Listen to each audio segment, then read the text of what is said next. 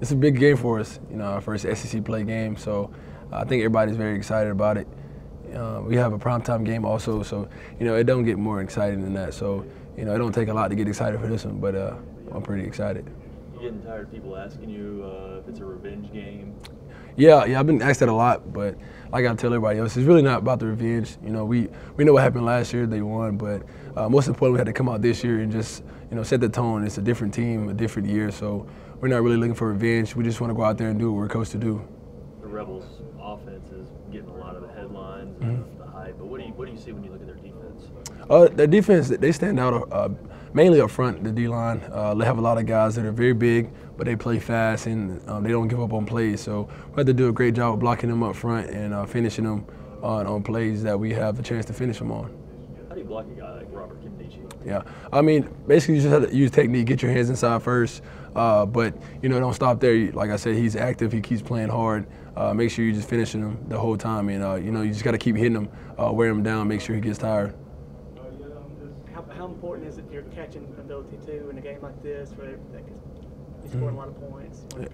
Um, it's very important. Whenever you can be able to catch the ball and uh, make plays on the field, um, also, you know, switch it up with the running game. Uh, they can't really key in on one thing, so that'll make it very important for us, and I think it'll be an advantage for us this game involved in you know, what turned out to be the game-winning play for Ole Miss last year. Yeah. Uh, does that serve any special motivation for you for this game? Uh, you know, yeah, it's kind of motivation. You know, uh, it, was, it was a play that stuck with me for a while last season, but you know, as I, I look forward to shaking it off and moving on from it. Uh, but like I said, it's in the back of my mind, but it's nothing that'll really uh, affect me during the game. Is it, is it harder to maintain your focus when you got a late kickoff? I mean, like a super late one, like an 8:15. Mm-hmm. Yeah.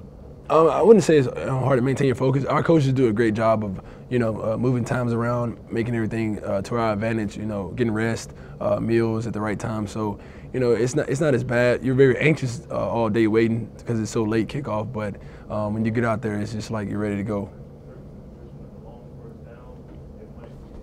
Ready. Dalvin, um, you sick of people asking you if this is a revenge game? Um. I guess you could say that, but it's just the first SEC game. We're excited about it, and they're a good team, and we just want to be able to prove ourselves as a team that we're good this year.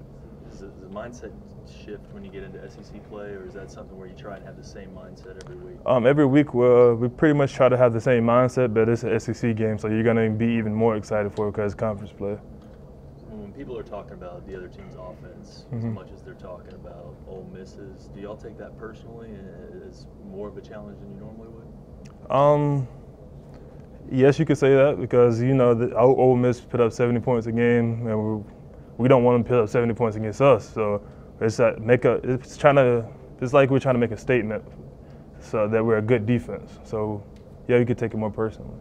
How important is it to get to Chad Kelly early in the game?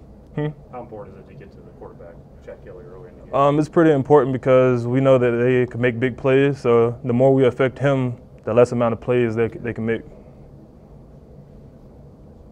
You know, they're, they're not really sure if they're going to have Laremy Tunsil tackle. Uh, and. Coach Saban was saying that means that y'all, you know, your, your schemes are the same, you know, the plays are the same, but it's how you, you know, maybe would attack a guy changes up. Mm-hmm. How, how does that affect your preparation this week? Uh, my preparation, um, we just prepare the same. Uh, no matter who they put in, we're still going to run the same schemes, the same techniques, and all the same stuff. So it just depends who they feel like playing.